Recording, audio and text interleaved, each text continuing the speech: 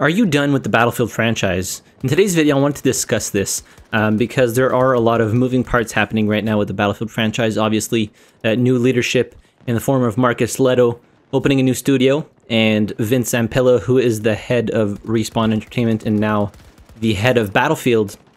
Um, with these new people in place, uh, and also the balance changes coming supposedly to Battlefield 2042, and uh, the reworks that are going to happen I wanted to know, are people burned by Battlefield? Are they now done with the franchise as a whole? So, if, for example, they they start working on a new Battlefield game and it brings back all the things that they just completely ripped apart from uh, Battlefield 2042. So I'm talking like single player campaign. Uh, they have classes back. They have all the requested features that were missing from the launch of Battlefield 2042, which are taking a hell of a long time to release, mind you such as the scoreboard, VoIP, among other things, and of course, uh, bug fixes. Is it too late? Like, are you personally done with the Battlefield franchise no matter what they do for the next game? Uh, have you been burned so bad by Battlefield 2042 that you will not even give a chance to other games, regardless of whether or not they go back to the Battlefield roots? Um, obviously, uh, something that is very important and might very well happen in the near future is Battlefield 2042 might just get its support cut. It's no secret that numbers aren't doing too good. The progress on bug fixes and implementing uh, features like VoIP and the scoreboard very slow. And now they're planning on reworking some maps, but we've only seen a mock-up for a kaleidoscope so far. And you know, season one was delayed until uh, early summer. So that kind of points in the direction that there's probably not a whole lot of people left working on Battlefield 2042 due to how poorly it launched and the amount of backlash the game got because of its, you know, overwhelmingly unfinished state uh, that anybody could see. Like, if you've been playing Battlefield or really any game ever, uh, you can see that Battlefield 2042 was not ready for launch. You don't need a background in QA. You don't need to be a game developer to see it. It's flagrant. It's just like you can see that the game was not ready for launch. So, like, they unfortunately, DICE and EA put themselves in a tough spot. So they, they, they released the game that's not finished. They're delaying a bunch of content. Player numbers are dropping because there's not a whole lot to do in the game. There's still a lot of bugs and there's a lot of missing features. And the player numbers are dropping. So what do they do? Do they completely rework the game at their own cost, which I think they should? Uh, I don't think it should fall upon the players to pay for the shortcomings of the company from which they purchased the game. In this case, DICE.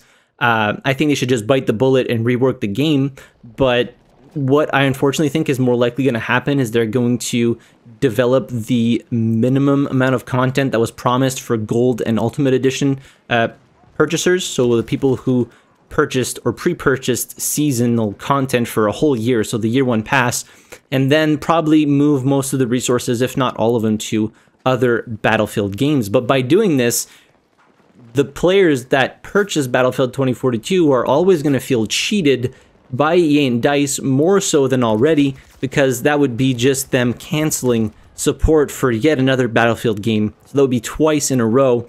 Um, and putting all the resources on another game. But on the flip side, if they don't pull support for Battlefield 2042 and they have a lot of people working on the game and future content for the game, so many people have been burned by the launch of Battlefield 2042, regardless of whether or not they got refunds. Those people, um, they they are they are probably never going to come back, no matter how much effort you put into reworking Battlefield 2042, you've lost the majority of the player base due to poor handling of the launch. So, with all this taken into account, like, does it matter to you what happens to the Battlefield franchise? Are you completely done with it? I wanted to make a video here talking about the possibilities of what's happening with Battlefield 2042. Um, because they did say a while back that there was a lot more things that were coming for the Battlefield franchise um, with games tying into the Battlefield universe or something, but with how poorly Battlefield 2042 has done um, and continues to do, it's hard to see how they're going to get people excited for anything Battlefield related after the latest, uh, you know, trash. I'm just, let's just call it how it is. Latest trash that they pushed out for full price. So yeah, I wanted to discuss this and see what are people's opinion on the subject. Are you done with the Battlefield franchise? Have you had enough of EA and DICE's uh, bullshit? Or if they produce another game that has everything that you would consider a staple of the Battlefield franchise, are you going to come back? Are you going to pre-order it?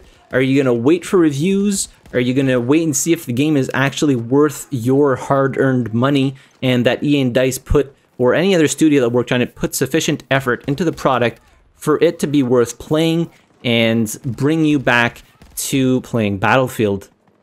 But anyways, I'll stop rambling now. I just wanted to get all of these thoughts uh, out there and opinions. Um, I'm kind of on the fence. I haven't played a whole lot of Battlefield lately as it's just not in a good spot. There are still so many, in my opinion, game-breaking bugs and lack of features and polish and balance issues that I really don't feel like playing it. I, I might give it a try if they rework most of the game.